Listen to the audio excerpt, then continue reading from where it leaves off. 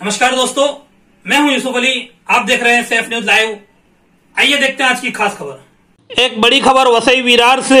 वसई विरार मनपा आयुक्त एवं प्रशासक गंगाधरन डी की आखिरकार वसई विरार से बदली कर दी गई है। आयुक्त गंगाधरन डी को मंत्रालय में मुख्य सचिव कार्यालय में सह सचिव नियुक्त किया गया है।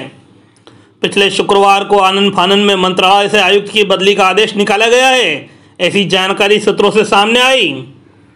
पिछले साल मार्च महीने में वसई विरार मनपा का कार्यभार ग्रहण करने के बाद से अब तक बीते 22 महीनों के दौरान कुछ अच्छे फैसले एवं कार्यों को छोड़ दिया जाए तो बाकी आयुक्त गंगाधरन डी के साथ कई मौक़ों पर अलग अलग विवाद सामने आते रहे हैं।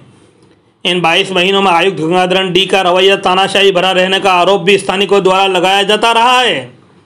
आयुक्त का किसी भी स्थानिक को मिलने का समय नहीं देना, किसी भी शिकायतकर्ता की शिकायत सुने बगैर उसे अपने अधीनस्थ कर्मचारी के पास भेज देना आदि प्रमुख हैं। गंगाधरन डी ने अपने कार्यकाल के दौरान सिर्फ़ एक प्रेस कॉन्फ्रेंस को छोड़कर बाकी किसी भी मौके पर मीडिया तक को संबोधित नहीं किया है।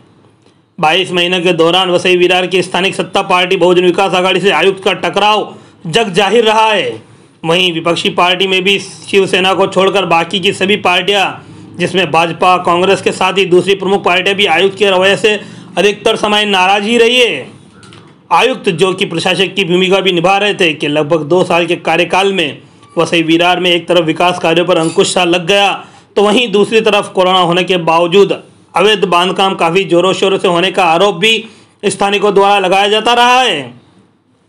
आयुक्त के कार्यकाल में स्थानिक तो आयुक्त से नाराज़ दिखे ही बल्कि मनपा में कार्यरत कई अधिकारी कर्मचारी भी आयुक्त की कार्यशैली से नाखुश दिखाई देते रहे हैं। आयुक्त ने कोरोना के समय, कई कर्मचारियों की मनपा से छुट्टी करके भी कुछ विवाद को जन्म दिए थे। खैर, इतना सब कुछ होने के बाद भी आयुक्त को एक पार्टी विशेष की हिमायत करने का इनाम मिला और आयुक्त अब मंत्रालय के सर्वोच्च कार्यालय में पदस्थ हो गए। अभी से पहले भी एक दो बार आयुक्त की बदली की चर्चा सोशल मीडिया में जोरों शोरों से उठी थी, लेकिन तब वह चर्चाएँ सिर्फ़ अफवाह मात्र ही साबित हुई। इस बार सामने आई बदली की खबर की पुष्टि कुछ मीडिया संस्थान को खुद आयुक्त ने की है जिसके बाद आयुक्त की बदली वाली खबर पर मुहर लग गई है। आयुक्त गंगाधरन डी का तबादला आदेश निकलने के बाद अब वसई विरान मनापा में कौन अधिकारी आयुक्त बनकर आने वाला है इसकी अभी फ़िलहाल कोई खबर नहीं है। आने वाले एक, एक दो दिनों में जल्द ही नए आयुक्त की घोषणा शासन द्वारा किए जाने की उम्मीद है। Bureau report safe news live.